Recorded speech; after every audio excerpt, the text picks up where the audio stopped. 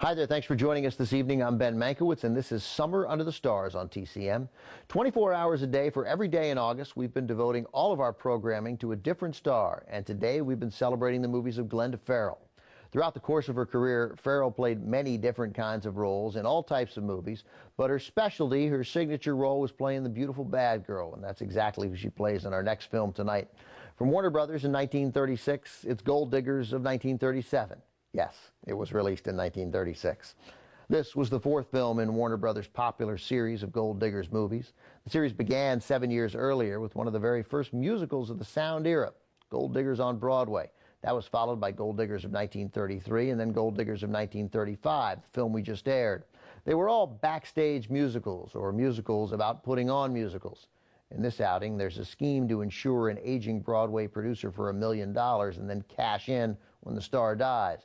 And our honoree today, Glenda Farrell, she gets to play sort of the title role, a gold digger who wants to marry the old man for his money. Farrell also appeared in the previous movie in the series, Gold Diggers of 1935, as had the charismatic leading man here, Dick Powell. From 1936, here's our Summer Under the Stars star of the day, Glenda Farrell, in Gold Diggers of 1937.